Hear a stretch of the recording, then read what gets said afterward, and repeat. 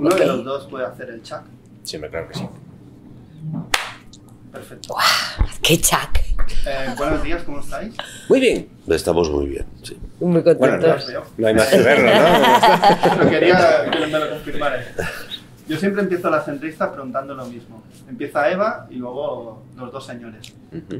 Em, ¿Por qué eres actriz, Eva? Esta no te la esperabas, ¿eh? ¿Qué? Eh, ¿eh? Nosotros por lo menos tenemos tiempo para pensarla.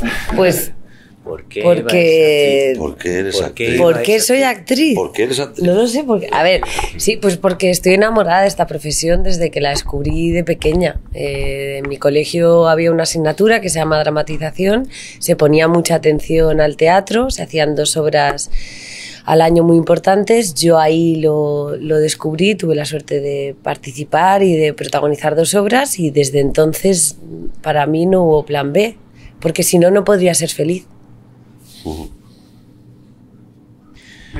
Yo, yo soy actor porque quería ser cámara y me dijeron que no tenía talento para eso y que probara delante de la cámara a ver si...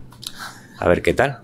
Y, por ahora está funcionando. Ha, ha ido colando. Por ahora está funcionando, así que... cambio, ¿eh?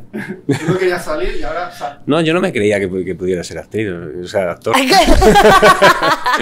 No, no me, lo, no me creía. No me lo creía, no me lo creía. Pero me convencieron para presentarme a, a las pruebas de dramático y al final, pues, pues mira, ha cuajado. Curioso, ¿eh? Es curioso, sí. Yo estaba pensando, digo, ¿por qué? ¿Por qué soy actor? Digo, porque puedo, porque quiero. Eh, pues, como te llegan a veces las cosas la vida, un poco casualidades o causalidades.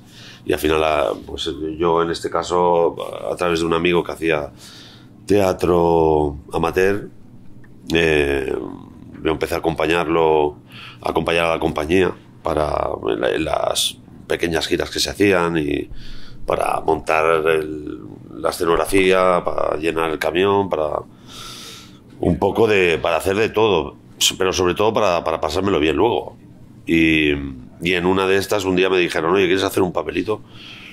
Y dije, pues sí, ¿por qué no? Y me subí al escenario y, y desde entonces ya no me quise bajar. Y bueno, pues eso. Al final también somos actores por, bueno, por muchas razones y porque las circunstancias eh, de la vida también nos lo han permitido, ¿no?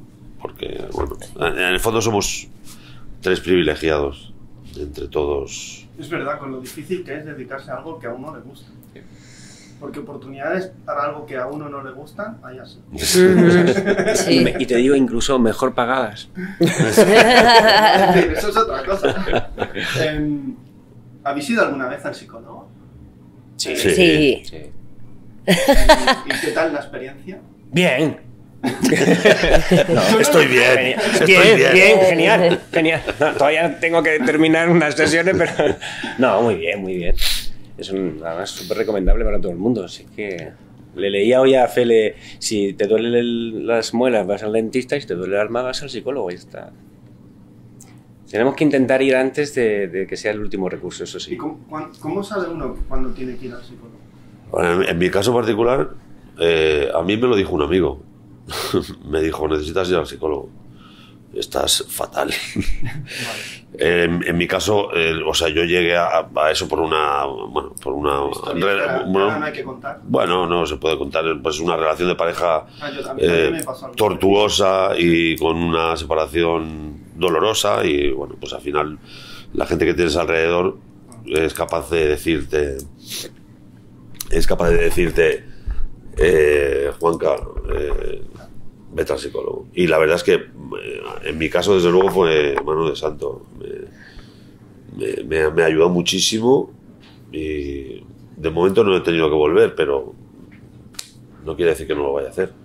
Pues no solo hay que volver por cosas dolorosas, a veces también hay que volver. No es lo que... Para que no lleguen las cosas dolorosas. Claro. Claro, yo creo que ahora que estamos poniendo tanta atención en la salud mental, que nos estamos dando cuenta que es necesaria para todo, eh, antes es como que uno iba al psicólogo porque tenía un problema, porque estaba en una crisis muy fuerte, y ahora ya se está viendo que es que hay que ir al psicólogo para no llegar a esa crisis tan fuerte, ¿no? Para, porque cuando uno está en el fango tiene que dar eh, un gran salto para salir de él y lo mejor es no llegar a, ese fango, ir teniendo herramientas, ir sabiendo cómo es cada uno.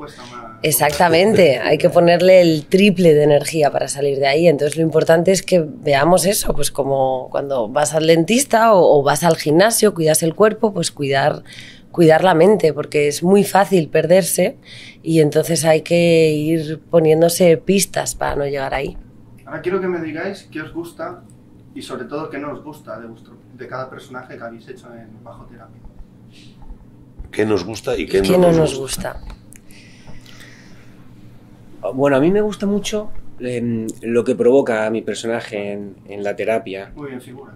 Eso es. Es muy bueno. Es- eso, ese, jode, ¿eh? esa- Eso eso jode. es. el- e- ese, Es ese, ese, ni- ese nivel que tiene de, de, de, de, tocar un poco la moral, Es un ¿no? Es cosa. Es un personal shopper. Su Sí, personaje. Sí, personal shopper. sí, es en- como de estos coach. Bueno, tiene, tiene esta Hace cosa. poco vi una peli americana y pertinente. decía, ¿tú qué te digas? Soy coach. Ah, vale, un actor en paro. Mira. Bueno, es que ahora no sois camareros, sois coach. Eso te iba a decir, Ah, eso en claro. el mejor de los casos, ¿no? Es, eh, como, es, es como ser camarero, hay como darle un... Y lo que no, y lo que no me gusta, pues que se interprete como un pesado, ¿no? Que- que- y que- pero vamos, que estoy encantado con el personaje. Eva, Pues a mí de Carla me gusta, me gusta cómo escucha, cómo observa, me gustan las estrategias que va siguiendo, eh, me gusta que a veces aplica la dulzura. Eh, lo que no me gusta es, eh, precisamente es como un arma de doble filo, a veces esa dulzura está escondiendo muchas cosas y, y mucho de su carácter. También luego entendemos por qué, se ha tenido que ir protegiendo y, y que a veces eh, se deja avasallar por lo que está viendo y viviendo en vez de, de iniciar. A mí me pones en un aprieto. Bueno, Sin por- desvelar por- nada. sin desvelar nada, no, pero eh, hay cosas que, que- que se ven desde el principio en la película. Entonces, te diría que, que no me gusten de Roberto. No. Te diría una lista larguísima. No. Eh, es decir, ya empezando por su, su, su mal carácter. Eh, pues empezaría por ahí, seguiría sumando Y uno tras otro. Lo que pasa es que yo creo Algo bueno que te guste. ¿eh? algo bueno, me costaría rescatar, por, por rescatar algo diría eh, que, que a pesar de todo y en el fondo eh, tiene una cierta capacidad de, de amar. Ahí me quedo. Te has parecido a la de London Express. ¿no? Hasta aquí. Hasta aquí. Porque claro, es, es una película que pasa como aquella de Testigo de Cardo de Billy Wilder, que acababa la película y decían, por favor no cuenten cómo acaba esta película.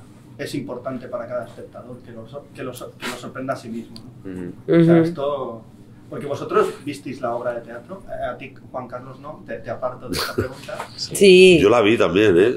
No, no, pero yo la vi como espectador también. Con otros, hacía- ah, otro hacía de tu Sí, porque tuvimos a- al final de, de la temporada en Madrid, de la segunda temporada, eh, ya empezaban otros eh, compromisos profesionales y entonces tuvimos una, un- unos dobles para poder hacer algunas funciones. Entonces aprovechamos los que, los, que teníamos dobles, aprovechamos para verla sentados en la butaca. Aquí en Barcelona también se hace, a veces un personaje lo hacen dos, porque por incompatibilidad de horario supongo que no... Ujú. Y, y, y verla en teatro y hacerla, porque la película está eh, ahí, plano secuencia, es muy película. Bueno, había pasado también mucho tiempo, la obra se estrenó en 2015, ¿no? Entonces Sí. pasó ya algunos años. Yo, por ejemplo, la había visto dos veces, me había encantado, me había gustado muchísimo, disfruté mucho. Sí, por supuesto, en ese momento. Y cuando llegó el proyecto, yo borré lo que tenía en la cabeza. O sea, para. Bueno, también Gerardo quería dar otra perspectiva, quería abordarla desde otro lugar. Y bueno, pues se borra y se empieza de nuevo. Yo tuve suerte, porque no me acordaba muy... no,